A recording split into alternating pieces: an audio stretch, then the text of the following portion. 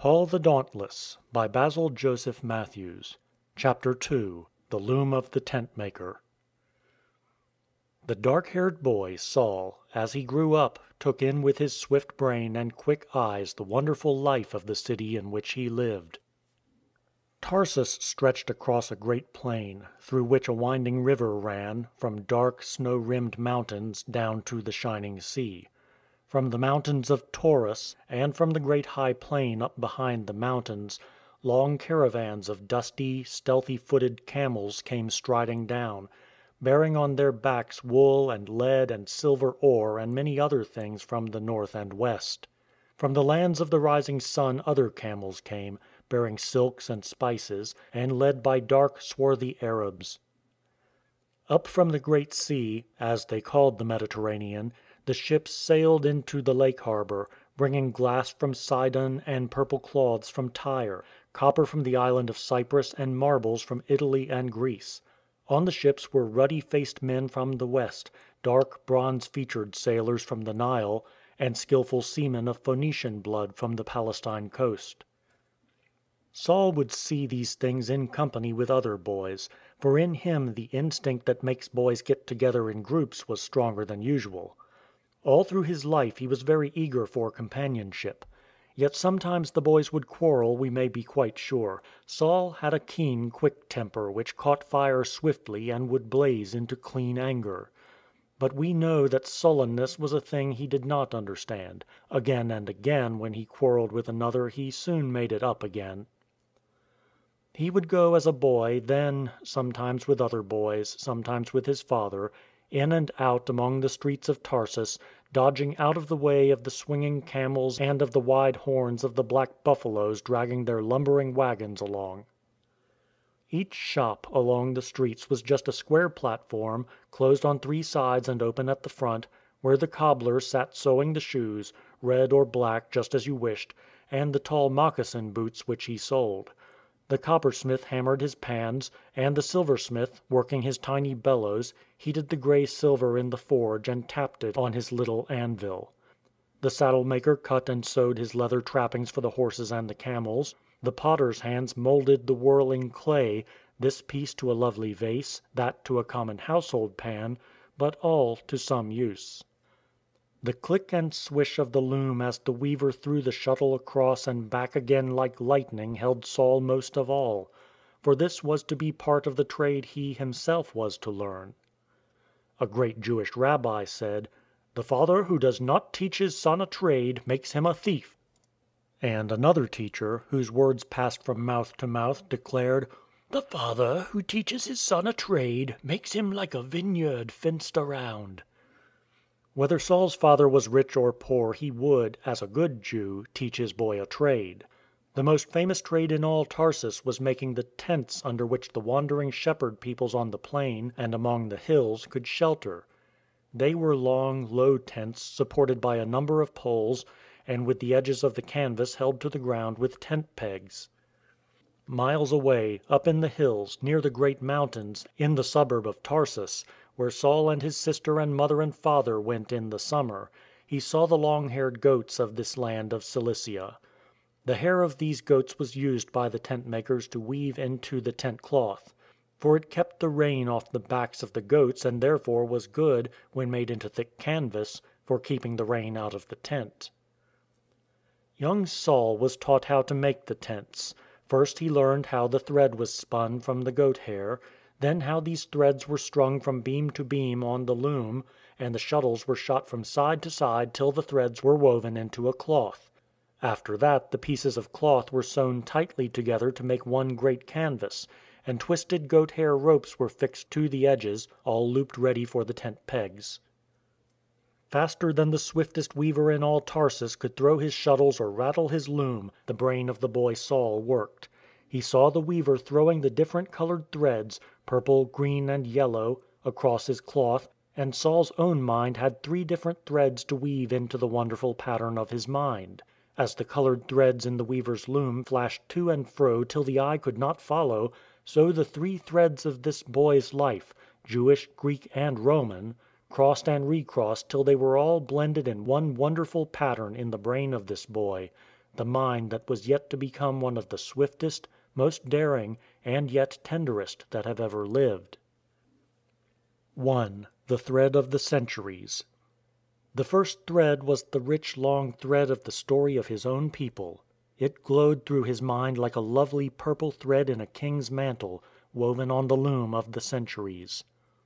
Saul spun the thread as he sat in the dim light of the synagogue, and saw them take up the sacred rolls and opening them read out of the Law and the Prophets; and as he squatted on the sand strewn floor of the school and shouted out the stories he had learned from memory. But most of all this thread would come from the story times at home. Saul's mother, when she had ground the corn into meal and made the dough for the thin flat loaves of bread which she baked in the mud oven, and as she sat spinning while they waited for his father to come back from the market place, would tell him the stories of his nation. They were tales to make a boy's eyes grow round and shining with wonder; stories to make him catch his breath with excitement as to whether the shepherd boy or the giant would win in the fight.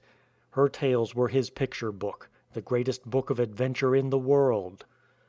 Through her eyes Saul saw the old patriarchs riding on their camels along the horizon of the old, old times and pitching their low, black tents by the side of the springs of water. He shivered as he watched the uplifted knife of Abraham ready to slay his son Isaac, and breathed again when the ram's horns were caught in the thicket and the boy Isaac was free. He heard how Rebekah watered the thirsty camels at the fountain and rode under the blazing sky into the land to meet Isaac, and how her sons Esau and Jacob quarrelled and were friends again. He could see Jacob terrified because the coat of many colours belonging to his favourite son Joseph was brought to him all dabbled with blood, when, all the while, young Joseph had been thrown into a pit by his brothers. For the brothers were tired of his dreams of being greater than they, and sold him to the slave dealers, who had carried him off with their camel caravan into Egypt.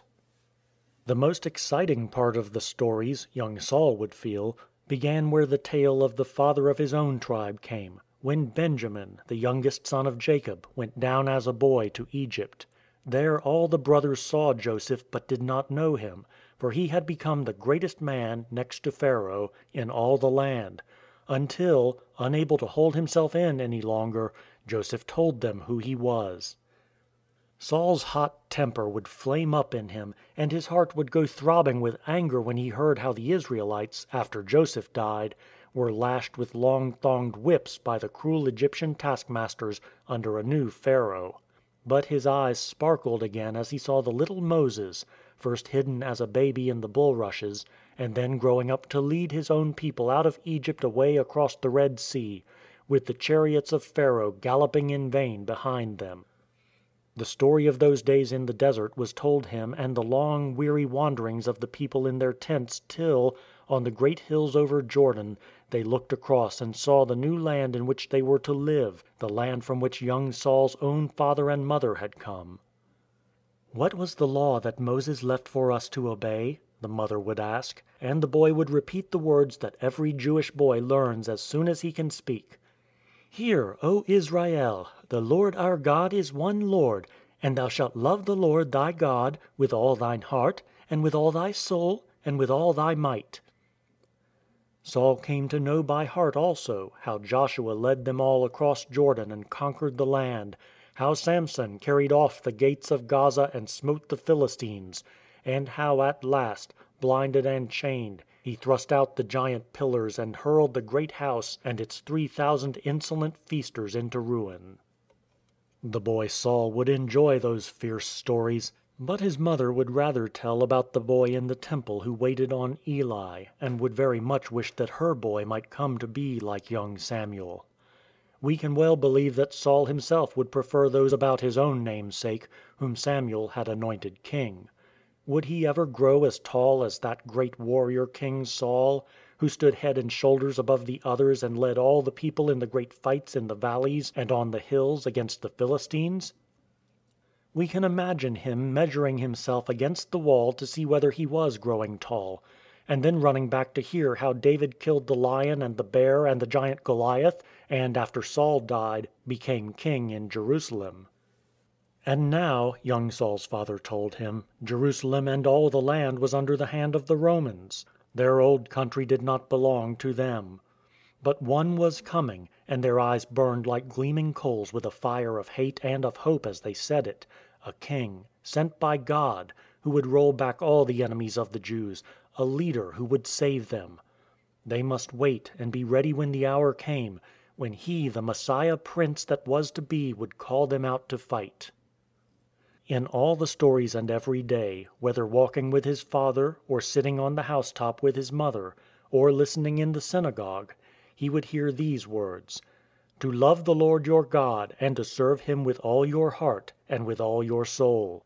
They were written on parchment and put in little leather cases strapped on the foreheads of the men, and on the arms of the growing boys, and were written on the door posts. On the fringe of Saul's coat was a cord of blue. If any Greek boy in Tarsus had asked him why it was there, Saul would have answered at once from memory :" Put upon the fringe of each border a cord of blue, and it shall be unto you for a fringe, that ye may look upon it, and remember all the commandments of the Lord, and do them." This great invisible God could not be shown in the likeness of an image — a statue of marble like those in the Greek temple which Saul passed on his way to school. Once every year he would see the streets of Tarsus all alive with crowds waiting for a great procession to pass. If he was allowed to watch he would see a great canopy over the image of a god who was being taken to be burned. For the god of the Tarsians was burned each year in the belief that he would come into immortal life again through the fire. Saul had been taught to scorn such a superstition about an idol. When he ran home to tell his father about the gorgeous procession, his father would surely frown and remind Saul to repeat his :" Hear, O Israel, the Lord thy God is one God."